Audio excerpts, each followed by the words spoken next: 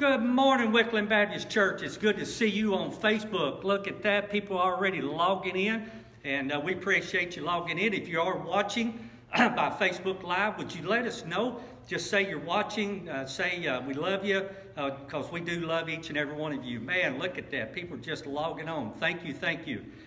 we just want to uh, uh, share with you. I'm going to share a few announcements here in a minute after the first couple of songs. Uh, but uh, uh, we do want to care for you. we have people that part of our church family we've been helping out. we've had few that are sick. We've had some of our senior adults and homebound that needed some help, and we have helped them.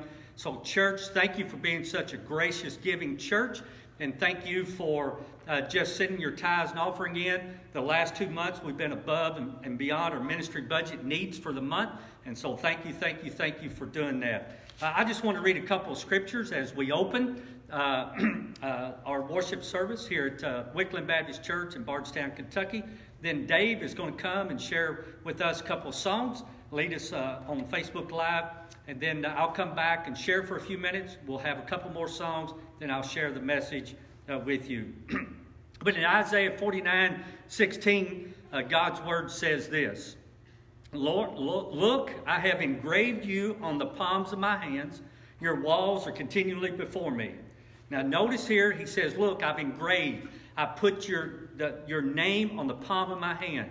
You remember when we have to remember something, we say, tie a little bow around your finger so you can remember uh, whatever you need to do. That's what God is telling the Israelite people look, I have engraved you on my hand, so I will always keep you on my heart my mind, and I will never forget you because I am always with you. And then 2 Corinthians 12 9, very familiar verse for most of us who are God's uh, people and followers of Christ. But he said to me, My grace is sufficient for you, for my power is perfect in weakness. Therefore, I will boast gladly, boast all the more about my weakness, so that Christ's power may reside in me. And, church, this is why we gather together corporately. Uh, but the last couple of months, we've been gathering together still corporately through technology. We're still the church. We will continue to be the church, whether we are scattered or together. And so just be uh, glad and be thankful and praise the Lord that you're part of the family of faith here at Wickland Baptist Church. Uh, let's pray, and then we'll uh, have some music. Our Heavenly Father, God, we thank you for your love and your grace. And God, we thank you that your grace is sufficient for all our needs. And God, may we have faith enough to uh, face our fears during this uh, trying and crazy times that we're living in. God, may we trust in you wholeheartedly that you will help us and, and lead us through this as individuals, as families, and as church family. And God, we love you today. And God, we want you to minister to, the to those who are watching, who will be watching later on our Facebook Live. God, we pray for each family.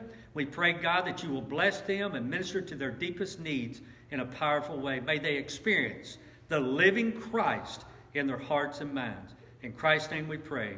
Amen. Get your Bibles, because here in a few minutes we'll look at 1 Samuel chapter 8. 1 Samuel chapter 8. Dave is going to come and lead us in some songs. Well, good morning, church. It's so great to be here again. We're going to sing a song that many of you may not know, but some of you might. The important thing is it's a great song. Here we go.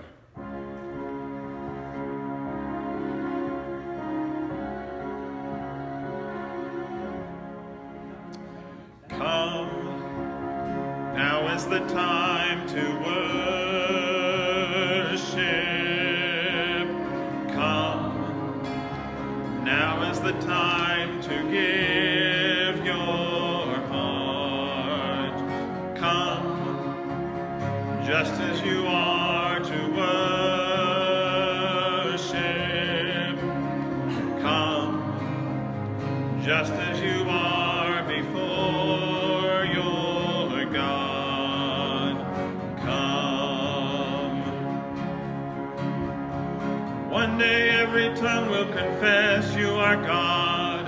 One day every knee will bow. Still the greatest treasure remains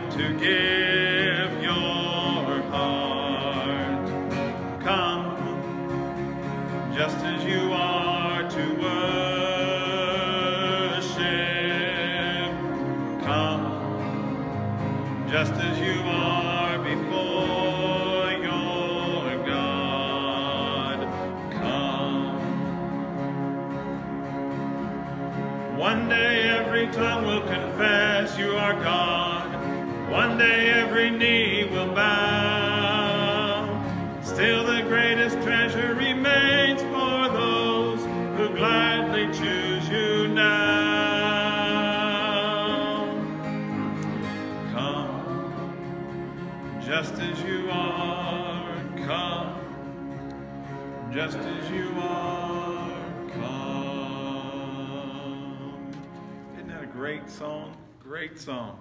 All right, let's move on with God of grace and God of glory.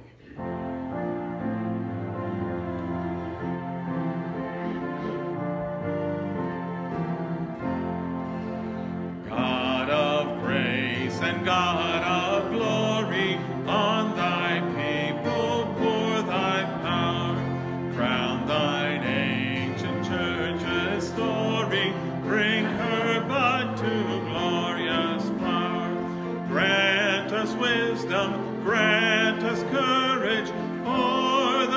the of this hour, for the facing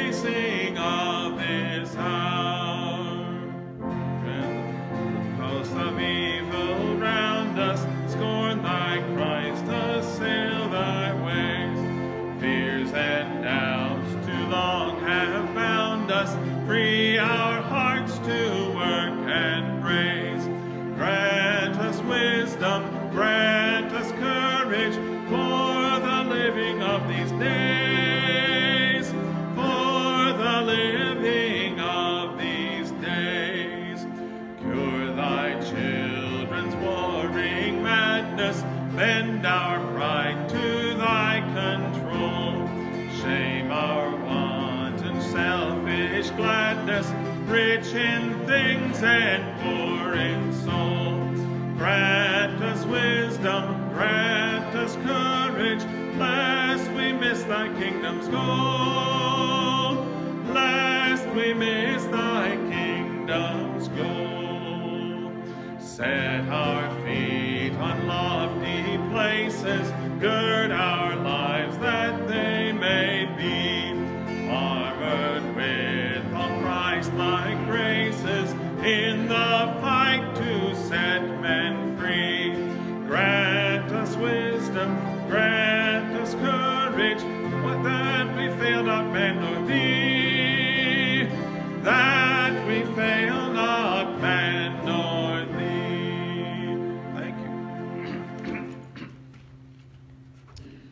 Church, you all uh, appreciate you singing in your heart and in your soul at home.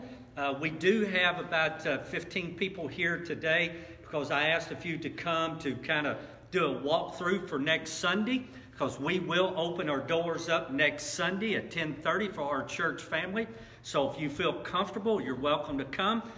but we do want to encourage those of our senior adult population and those who have health issues, those who maybe just have a little leeriness, to stay home. It's okay. We'll always be on Facebook Live uh, for for for uh, several months or forever. Uh, we're going to stay online as have an online presence. We've been having a lot of people in our community, and and to be honest with you, from other states, been watching each week, and uh, we're glad that they are there. So, church family, Wickland Baptist Church. Next Sunday, May the 24th, we will gather together again in this facility. Uh, we've never closed our doors. We just stayed home and been scattered and still being the church. But now we're going to come back. But here's the thing, church, I want you to understand. We will be practicing social distance. Uh, we will be uh, sitting six feet apart. Uh, every other row in our sanctuary will be seated on the aisle so we can have six feet in between the families on each end of the pews. So we are trying to keep people safe. Uh, again, if you've been sick in the last few days or you're sick next Sunday, please, please, please stay home. None of us that who are coming want to get sick. But if you want we are encouraging to wear masks if that makes you feel comfortable. And we do have some temporary masks here the, the, that if you forgot one, you can have one to put on. We have sanitizer uh, hands everywhere. Uh, we have uh, our custodian came in yesterday and she sanitized the place. She'll come in this afternoon and do it again after uh, we leave. And so we'll keep the building safe and clean and sanitized for you. Again, you come when you feel comfortable. We, we will respect you, and it's okay. Okay? We can only seat about uh, 50, 55 in the sanctuary, but we will have an overflow in our fellowship hall. Uh, we can seat anywhere between 10 and 20, 25. It depends the size of the families. You get that? The size of the family will dictate how many people that we can have. Uh, after the uh, next Sunday, or the following Sunday, if we need to go to two services, we will go to two services to accommodate the people who want to come. So we'll have a 9 o'clock and then a 10.30. The 9 o'clock will give us time to clean uh, the pews and clean the restrooms and everything in between the two services if we have to go uh, that route. So May the 24th, a week from today, if you feel comfortable, you're welcome to come. Sit social distance, no handshaking, uh, no hugging. Uh, try, try to respect everybody uh, and uh, be safe. We just want to come and praise the Lord. And uh, so we're going to have a good time uh, next Sunday as we come together. So just want to encourage you. If you want to stay home, watch Facebook, that's okay because we'll be on Facebook. And I know many of our seniors are watching now. I've been watching the, the scrolls and the comments, and we appreciate that. Uh, if you uh, feel like God is still moving in your life, Type Amen, Hallelujah on Facebook. And the few that are here today, if you feel like God is still moving your life, say Amen. amen. So, see, God is still on His throne. He's still uh, moving. He's still ministering to His church. He's still going to do a great thing through this. He will see us through this if we do our part and show love and serve one another in a way that will please Him. So, next Sunday, uh, looking forward for everybody being here. And uh, it, it would be great if we had to go to the second service because people want to come back to church. But I know several folks will probably wait a month or two to see how this plays out before they come. And that's okay. I look forward to that. Uh, statistics are showing some of the churches that already started in other, other states, they're running anywhere between 25 to 40% of their normal attendance the first three or four weeks. And that's okay. We want people to be safe. We want people to fear, to, to feel comfortable when they do come back, that this will be a safe place to worship the Lord. Amen? Amen. So we're glad that you're watching Facebook Live.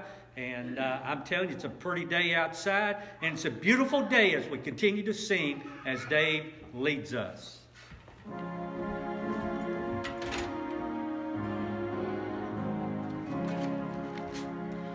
Great is thy faithfulness, O God my Father. There is no shadow of turning with thee. Thou changest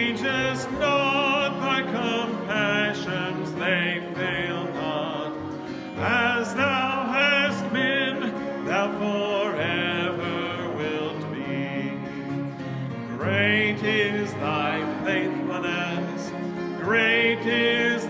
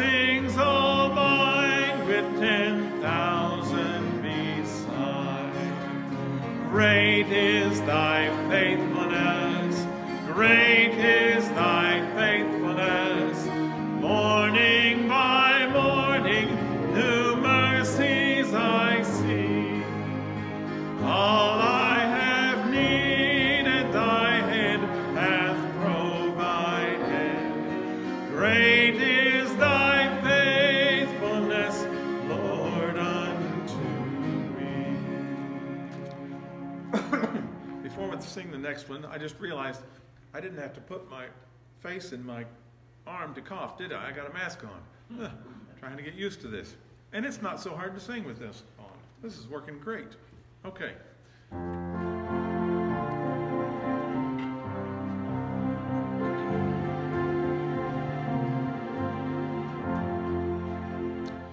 We stand and lift up our hands, for the joy of the Lord our strength.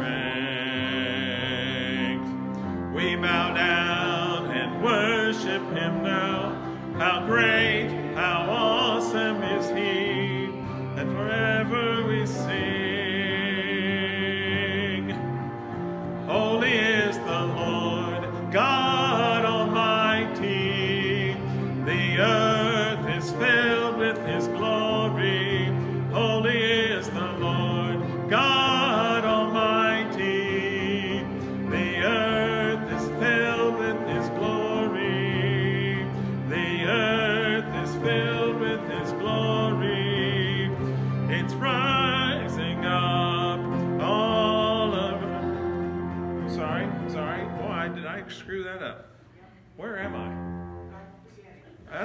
beginning again. We can sing this again. I'm so sorry. Can we get back to the beginning? All right.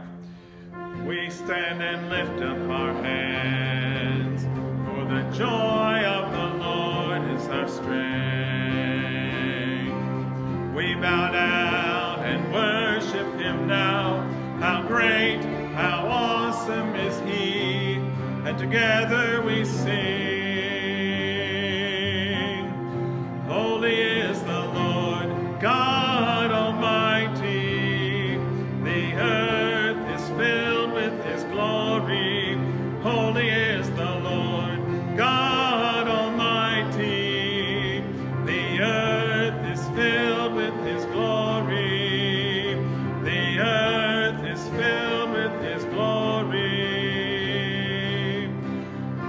We stand and lift up.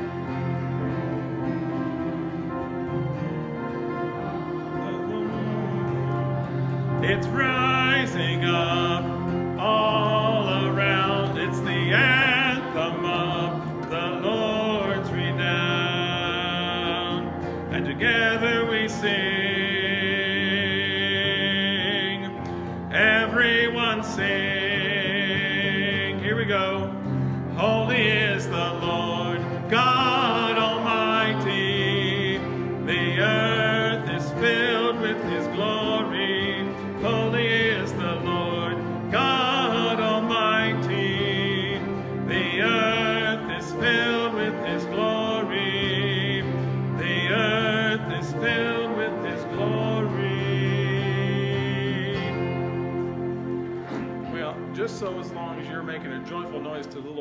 that's the important thing. Yes? Amen. All right, church, get your Bibles and turn to 1 Samuel chapter 8. 1 Samuel chapter 8. We've been going through the storyline of the Bible. Uh, those who are watching on Facebook Live, they're not part of our church from uh, Genesis all the way through Revelation. uh, starting in January, we'll go through that storyline of the Bible, the whole story of the Bible, uh, through uh, after the Sunday, the Sunday after Thanksgiving. So we're in 1 Samuel. Uh, the last two Sundays we were in Judges, and now we're in 1 Samuel chapter 8. Just want to share with you that uh, 1 Samuel uh, takes place about uh, 110 years uh, uh, through the 1 Samuel. The journey of 1 Samuel was about 110 years. Uh, they moved from the judges. Remember, last couple Sundays we talked about uh, judges that were uh, God uh, gave them judges, raised up judges to, to share the word of God, to help the people of God to repent, get back worshiping Him. Then all of a sudden they would for a while, and then they would uh, uh, worship the idols, and then uh, He would raise up another judge. And so First Samuel now is transitioning uh, to the kings. They're going to be moving away from the judges. They're going to start the kings. Samuel is the last judge. Uh, we're going to be, uh, if you look at toward the end, around chapter 10, 11, and 12, uh, you'd see that uh, Saul was chosen to be the king, and then Solomon and David, and so forth. And the theme of 1 Samuel is this. And the theme is leaders and nations change, but God's purpose never changes. Leaders throughout every generation of churches, of political, of, of jobs, of careers, whatever, and nations will change from different seasons of life, different generations. But God's purpose never changes, and He's always moving His purpose forward no matter what's happening with the leaders and nations. uh, Samuel was, again, the last judge. Uh, chapters 1 through 12 of 1 Samuel is talking about the birth of Samuel, the call of Samuel with Eli, uh, the ministry and the change that's coming about.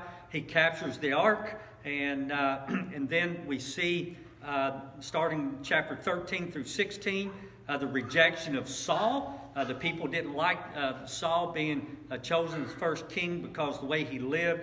And in the last several chapters, 17 through 31, uh, was the reality or the rebellion against God. And David was anointed the king. And then you know the story of David and Goliath uh, in, in the book of, of 1 Samuel. I want to ask you a question. Have you ever been surprised have you ever gone through life and you just, oh wow, had a wow moment? It might have been with your family, it might have been here at church, it might have been at work, it might have been on the ball field. Uh, I remember one time I was very surprised in my first full time church. Uh, we were playing softball. At that time, I was single, and I was on the softball field probably three or four nights a week. I loved playing softball and uh, pitched and played second. And uh, I was playing with a lot of my teenagers uh, and some adults. And uh, about three weeks before this game happened, I was taking a bunch of uh, teenagers from Cynthiana, where my church, where I was serving at, to Frankfort for the Youth Evangelism Conference at the Civic Center. And dummy me, I was uh, uh, not paying attention and I was going about six to seven miles over the speed limit, and a state trooper pulled me over. And the teenagers were surprised. But that wasn't the surprise for me.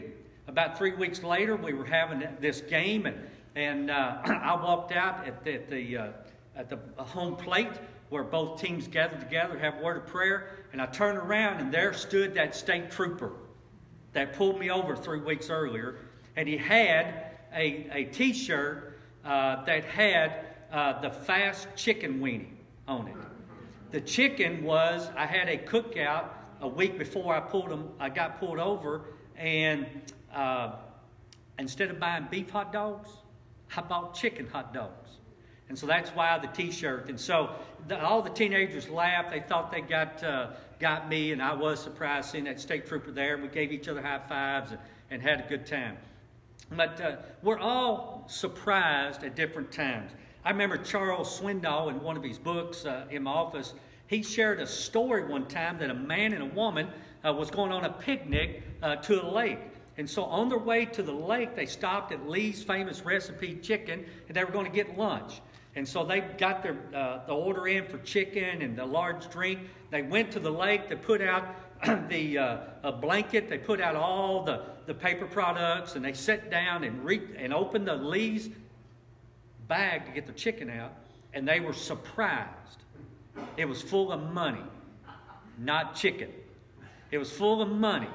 And so they packed up everything and they took this sack back into uh, Lee's Famous and they asked for the manager, and the manager came and he, they said, uh, We're sorry, but we didn't get our chicken. We got this bag. And the manager looked in there and he said, Oh, no.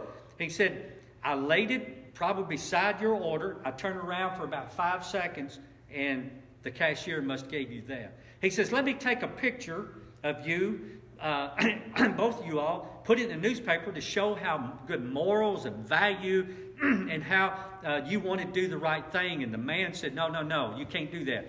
And the manager kept insisting and insisting, we want your picture. And the man kept saying no. He says, why don't you want your picture in the, in the paper? He said, there's two reasons. Number one, my boss doesn't know that I'm going on a picnic. He thinks I'm sick at home. And secondly, this is not my wife. Surprise! Surprise happens every day of our lives. I, I want to ask you in what ways do you stand out are different in this world. As a believer, as a Christian, as a disciple of Christ, what makes you stand out differently than other people that you hang out with? Are you different outside these walls? Now, during this COVID 19, we had opportunity to be, continue to be the church, checking in on each other and showing love and showing grace and, and helping people when they needed help. Let me ask you another question. what do you turn to for satisfaction, fulfillment in your life besides Christ? What do you look to uh, for fulfillment and satisfaction in your life instead of Christ? Have you ever made a choice that you wished you had not made that choice? Have you made a decision and you look back and said, whoops, I made a, I made a, a, a, a mistake. I was surprised by how that decision, that choice really turned out. Well, in our scripture passage today, uh, we're going to actually see uh, that um, see that uh, uh, that the Israelites and Samuel uh, wanted a change. They, they were surprised, especially Samuel, uh, here in chapter 8 how the people of God uh, was wanting to react. Instead of judges, they were asking for a king. They wanted somebody to come and rule over them and, and, and fight their battles for them. And we know as Christians sometimes we want other people to fight our battles for us.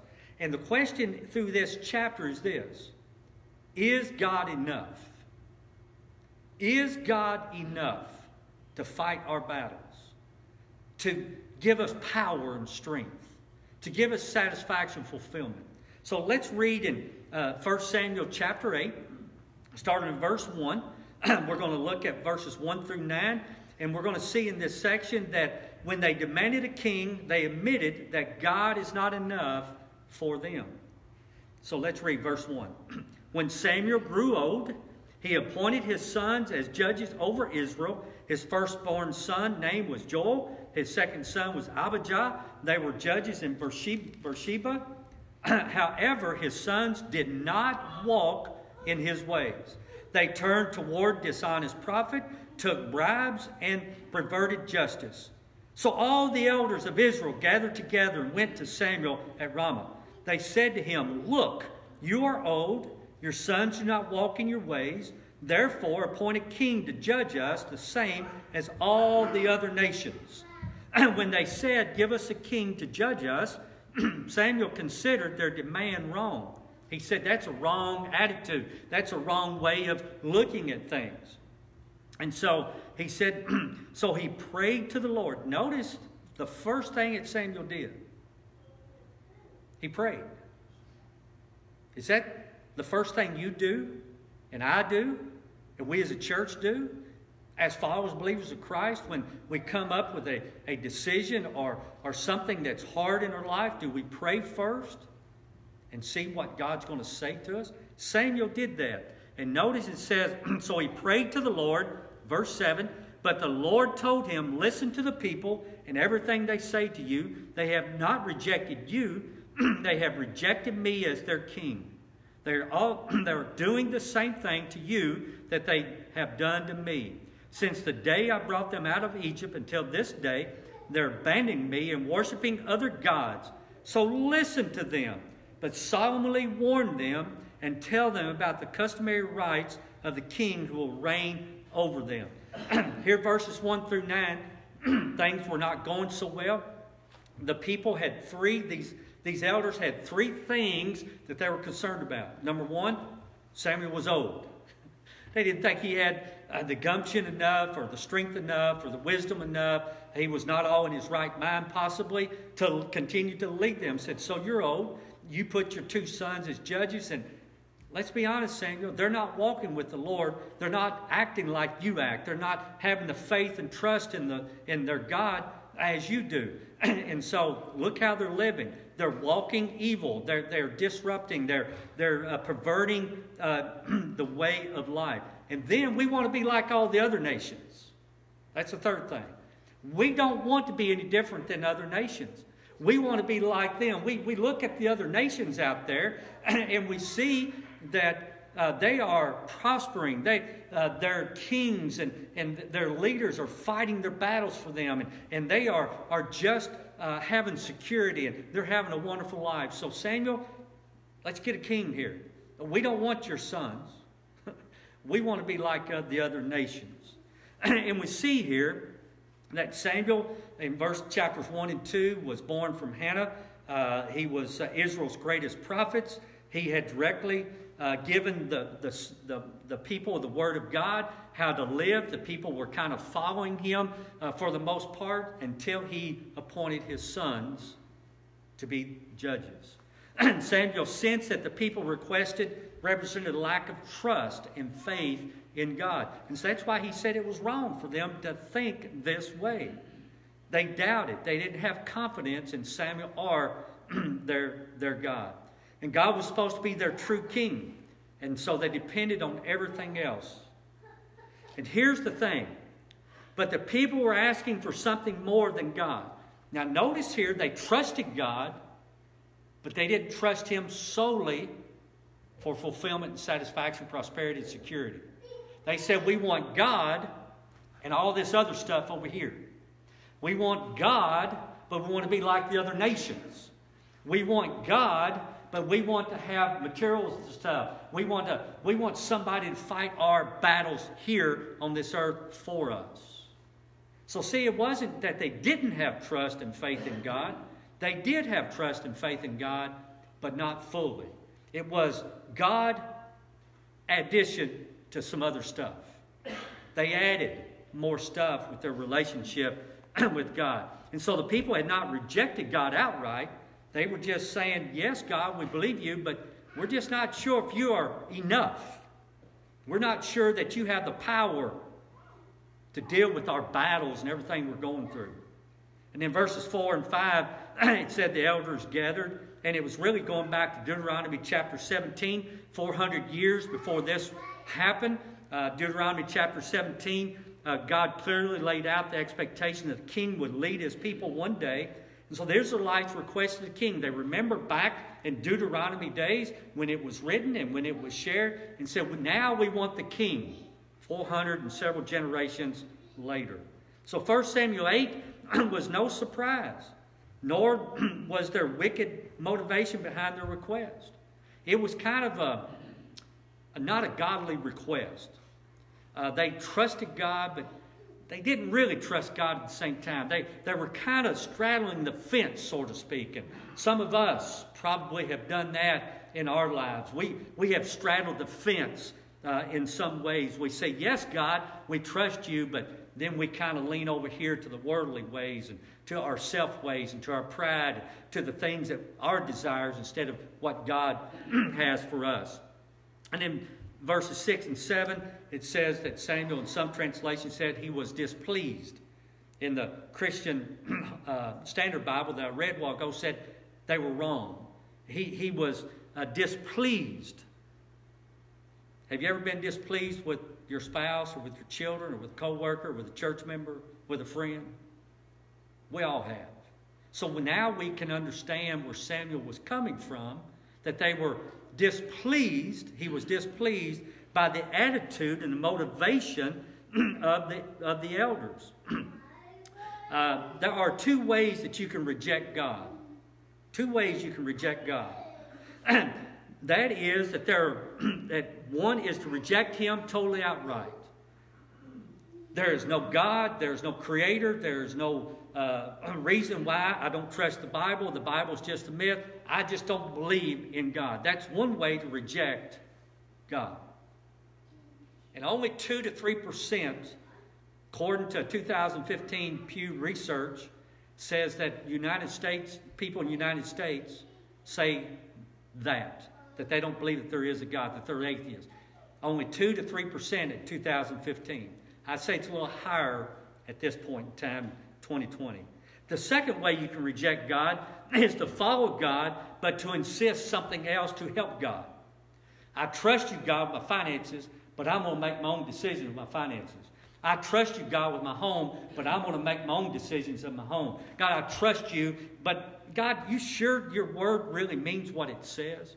And so we trust God, but we add all these other things because we don't trust God wholeheartedly. And then verses 10 through 18, not only did they demanded a king, uh, they opened the door to enslavement. They opened the door to enslavement. Look at verses 10 very quickly.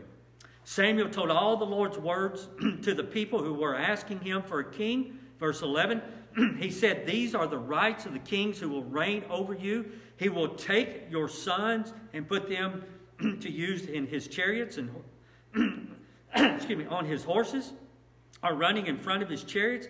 He can appoint them for use of his commanders of thousands or commanders of fifties to plow his ground and reap his harvest, or to make his weapons of war. He can, verse 13, he can take your daughters to be become perfumers and cooks and bakers. Verse 14, he can take your best fields and your vineyards and your olives.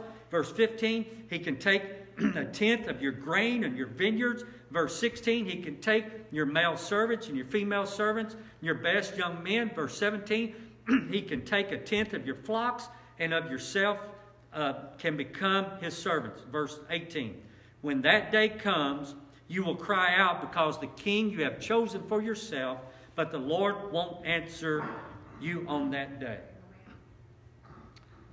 So when they did not trust God fully, it was like the last two Sundays we talked about in Judges. They worshiped idols. They were adding other stuff with their relationship with God. And that became an opening door to their hearts and their minds to accept, to worship, to believe in other things outside of the relationship with God. And so they were enslaved to the open door of enslavement. Samuel didn't hold back when he foretold. This was pretty bold, wasn't it? That Samuel told the people that if you want a king, this is what the king's going to do. He's going to take pretty much everything. He's not going to protect you the way you think he's going to protect you and lead you. He will not fight your battles the way he's going to fight your battles. the Israelites looked to the king to guarantee prosperity and security. and we know that Samuel was telling them that this king was not going to do what they think he was going to do. He was going to be more in control than they in control of him. Now, in verses 19 through 22, we see that when they demanded a king, they looked just like everyone else. That's why I asked you the question earlier is there any difference in your Christian walk than anybody out there in the community that's not a Christian? Can people see the love of Christ in you? Is there a difference? We're supposed to be set apart. We're supposed to be in the world, but not of the world. We're supposed to be in the world and living and sharing the gospel, glorifying God, and doing what God asks us to do, but we're not supposed to partake of the worldly ways. And so here in verses 19 through 22, they look just like everyone else. Look at verse 19. The people refused to listen to Samuel. Is there people today that refuses to listen to God, to the church, to political, to, to their mom and dads, to their spouses, uh, uh, to their children, on and on and on? Yes. That problem still goes on today. Notice here, it says, the people refused to listen to Samuel. No, they said, we must have a king over us. We don't think what you're telling us, Samuel's actually accurate and true. They're not going to take as much as you say they're going to take. We want the king anyway because we don't trust God fully. And notice it goes on in verse 20. then we will be like all other nations our king will judge us, go out before us, and fight our battles.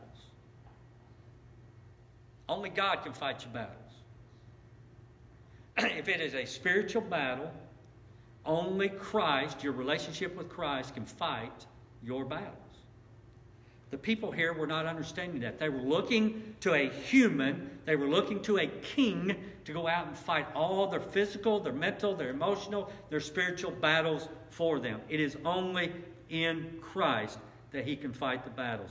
God is a loving Father who has gone to great lengths to rescue his people over and over and over again in the Old Testament. And yet, Israel still wanted to be like all the other nations. But, it, but we notice here that in verse uh, 22, listen, it goes on and says in verse 21 Samuel listened to all the people's words and then repeat them to the Lord. Listen to them, the Lord told Samuel, appoint a king for them. Then Samuel told the men of Israel, Each of you go back to your city. Samuel, God knew it was wrong, but God went ahead and said, Okay, if y'all want a king, I'll give you a king.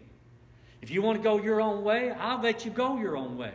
If you don't want to follow me, I'll say, okay, I'll back up, God says, and I'll let you go your own way. That's what Romans, throughout the book of Romans, tells us that he allowed the people go their own way when they were sinning. and we notice that. Uh, and so the, the Israelites here wanted a safety net. They wanted a safety net. They wanted, like a child wants a blanket when they're little to go to sleep or, or a stuffed animal. They wanted that security. They wanted that safety net, that, that comfort.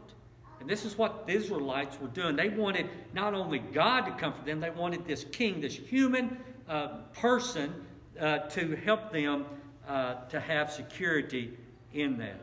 God rightly calls this a rejection of him. Remember, he said, Samuel, it's not against you, it's against me.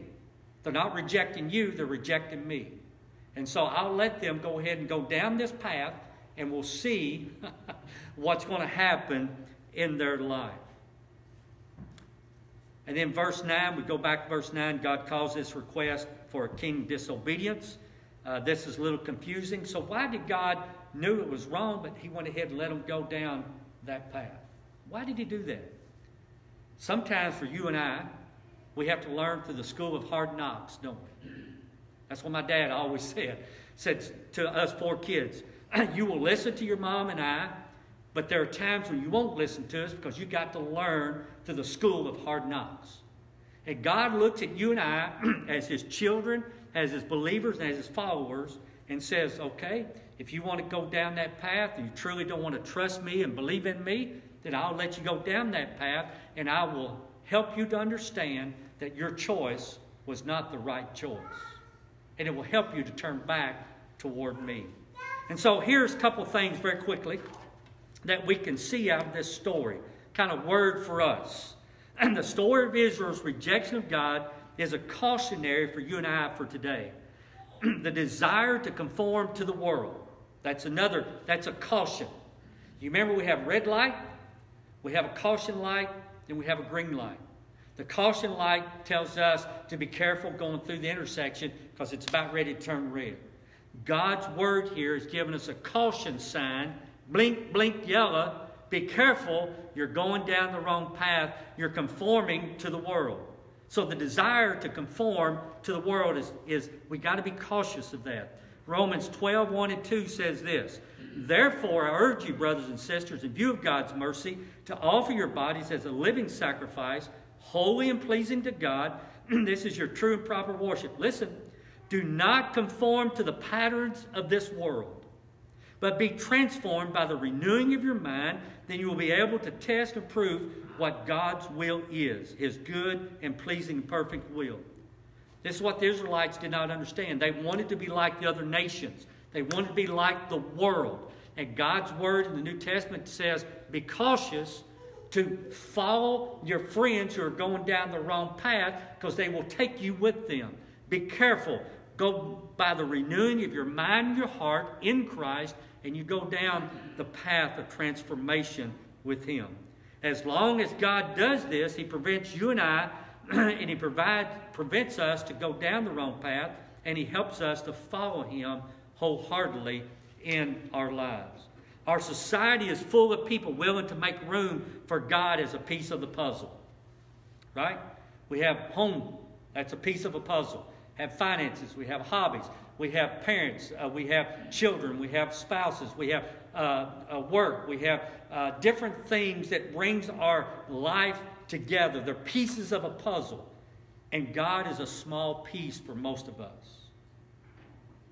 It's not one of the larger pieces of the puzzle, it's a small piece. And it's sometimes hard to find if you ever worked a puzzle. You're trying to find one little piece and, and you look and you look and you look. That's the way it is sometimes with our walk with Christ. We have to be careful. If we truly want the, the true joy, and the peace, and satisfaction only in Christ, then we have to turn on those caution lights. And okay, we're not going to be conformed to the worldly ways. We want to be transformed by the renewing of our heart and our minds to Christ and follow Him.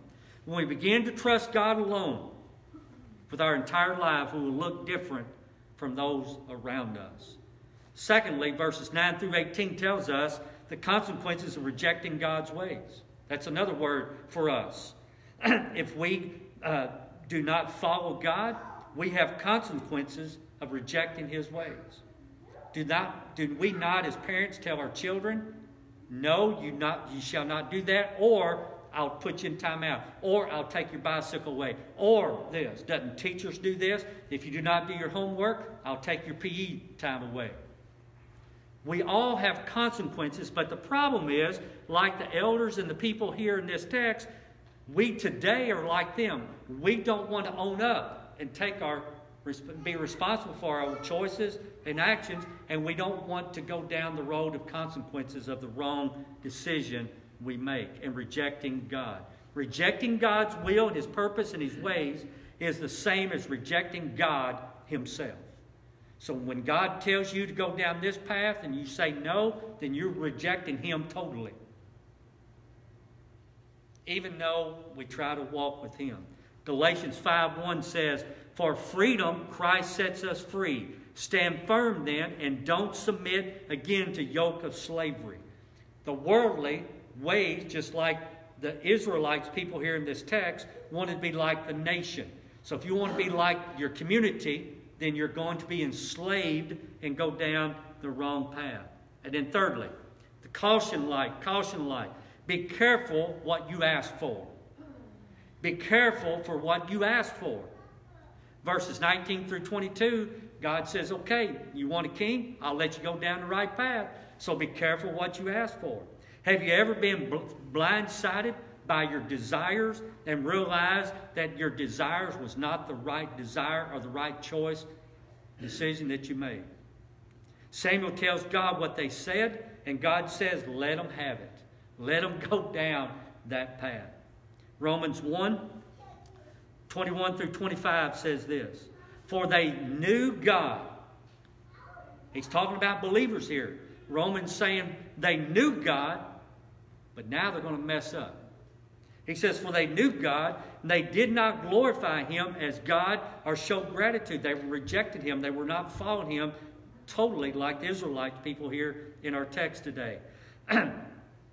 Instead, their thinking became worthless, senseless hearts were darkened, claiming to be wise, but they were really fools, and exchanged the glory of the immortal God for images resembling mortal man, birds, and footed animals and reptiles. Therefore, God delivered them over in the desires of their hearts to sexual impurity and other sexual stuff, so that their bodies were degraded among themselves.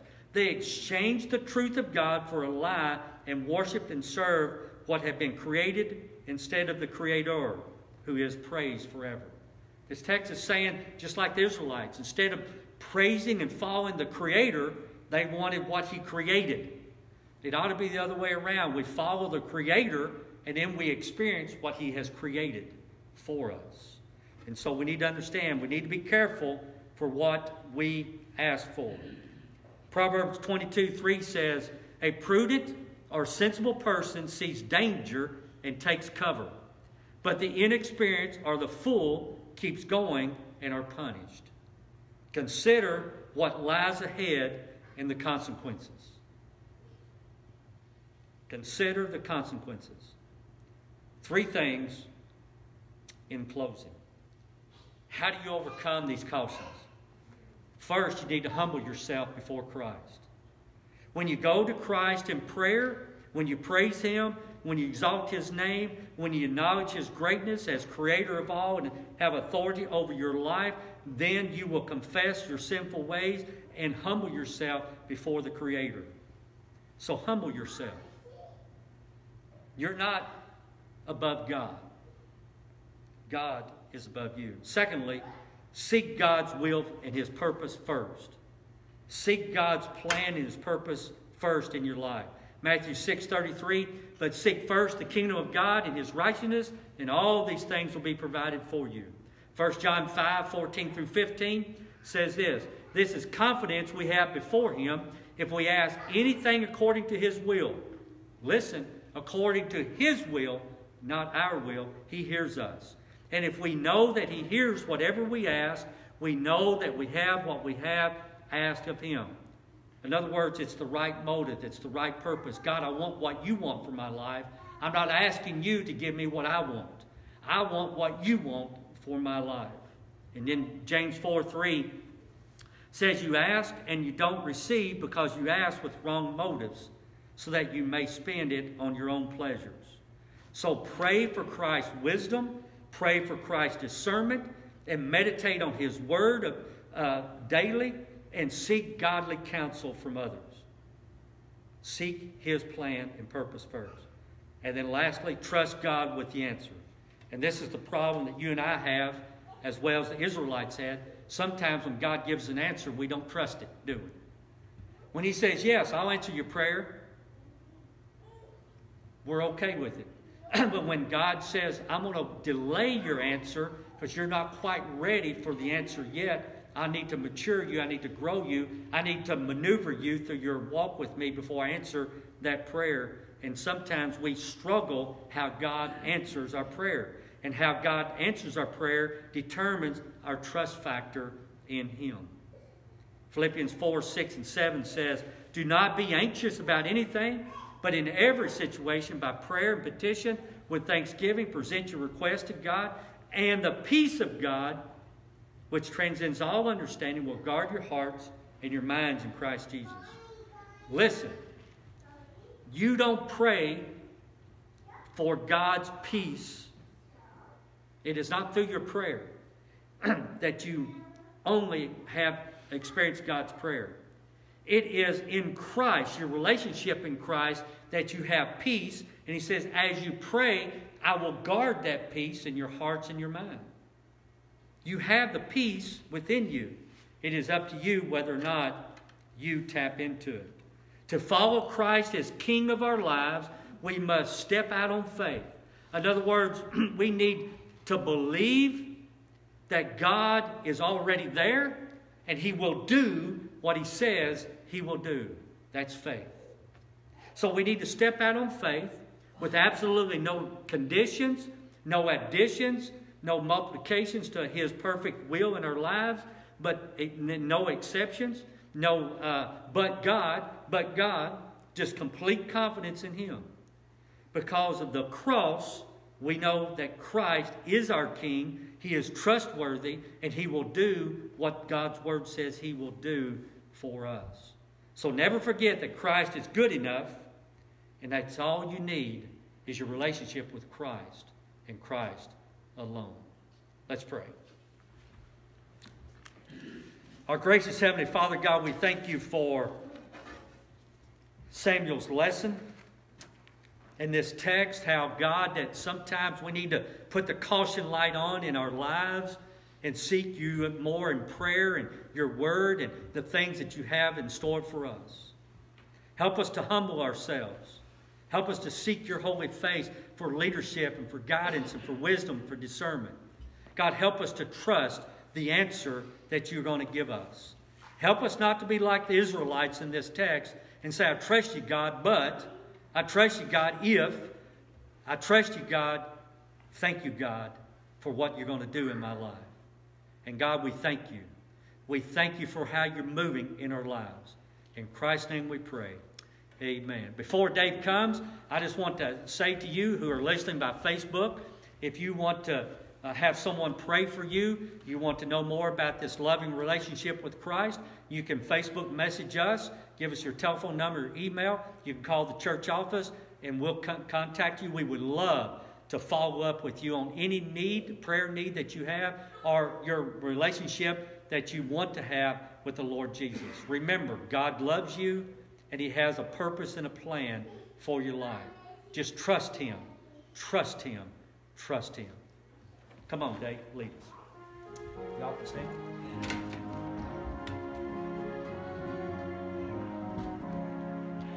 We will glorify the King of Kings.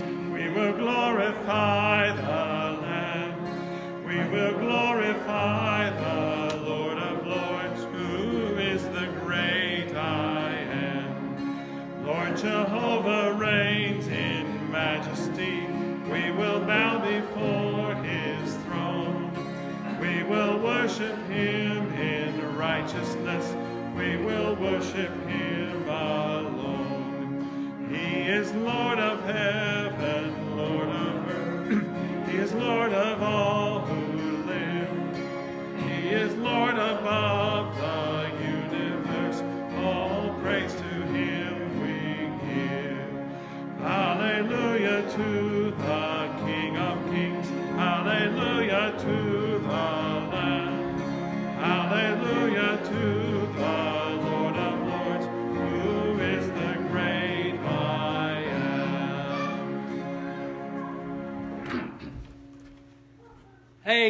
church, it's glad we're so glad that you worship with us, a few here, and then also by Facebook Live, and those who will be watching later. Uh, we thank you for uh, that. We pray that God has blessed your life in a very special way through the words of the music, the prayers, the teaching of His Word. And again, we hope that you will experience the living Christ this week as you trust in Him and follow Him fully in your walk with Him. May you have a great week. May you have a great lunch. And may God just pour His blessings from heaven upon you this week in a mighty, mighty way. I'm out. Have a good day.